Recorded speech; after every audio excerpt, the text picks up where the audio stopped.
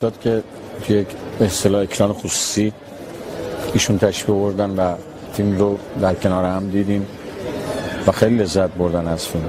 خیلی لذت بردن و من هم واقعا از ایشون لذت بردم.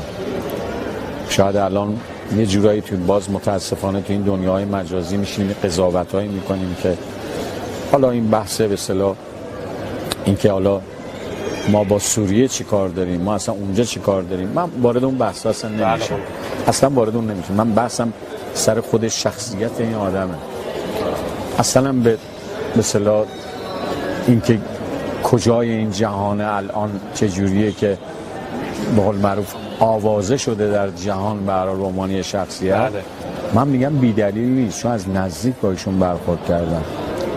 این چیزی که به صلاح بنده دارم عنوان می‌کنم میگم من تمام عمرم رو گذاشتم برای اینکه به هیچ برسم من هیچ رو در تمام پیکره این آدم دیدم که واقعا نمی‌دونم. می‌دونم برام خیلی گرون تموم میشه یعنی که دارم می‌زنم ولی اصلا برام مهم نیست. من اون چیزی که می‌بینم و می‌فهمم و میگم به زبون میارم. من به اعتقاد من اصلا سردار سلیمانی رو زمین نیست. یعنی وجود می‌خواد در واقع جرأت می‌خواد شهامت می‌خواد. اینکه شما از همه چیز بگذرید.